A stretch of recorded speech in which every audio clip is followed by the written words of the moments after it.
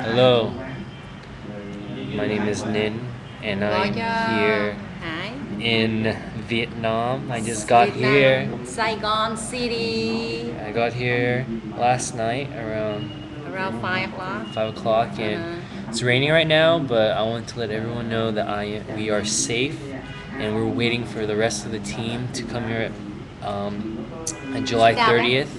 And right now, um, it's the 26th, and um, and really excited for everyone to come. And um, and so far, the mission trip has been a real blessing, and um, I'm really glad to. I'm glad to say that um, a lot of people came to know the Lord um, through the ministries that we've done at the school, where we went through about four different schools in um, in a week.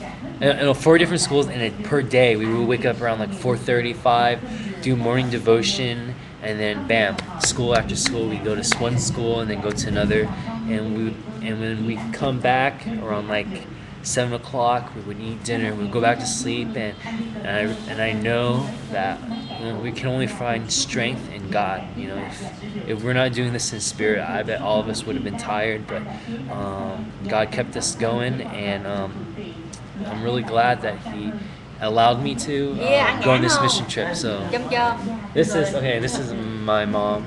To mấy gì um gì ba thủy um you know gì thơ uh, all mấy gì gì qua here. This is yummy yeah. yummy yummy yummy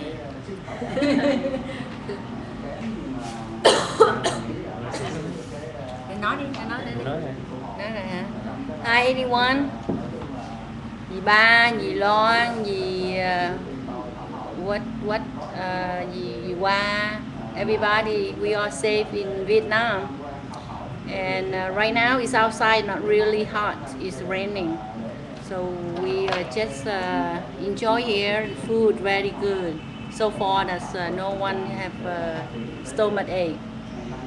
And the weather we love it it's not too hot. And right now it's outside it's raining and uh, we're about to go out to visit uh, An family.